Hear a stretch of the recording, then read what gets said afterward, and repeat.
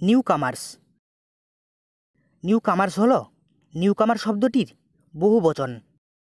এর অর্থ একের বেশি আগন্তুক বা একের বেশি নবাগত ব্যক্তি।